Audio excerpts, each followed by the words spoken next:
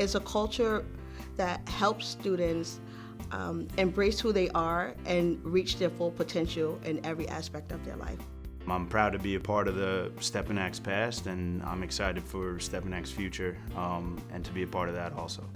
It's definitely impacted my life um, outside of Stepinac, um, but more so giving me the confidence to be um, that much more representing Stepinac.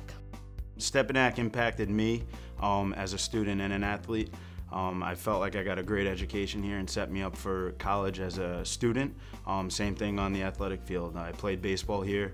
Um, I'm an alumni here and I felt like it set me up on, on the playing field as well that added level of confidence just makes you that much more secure in who you are and the things that you plan to accomplish. Joining Giving Back. You have until February 14th at noon. No gift is too small. Thank you for all your time, donations, and effort.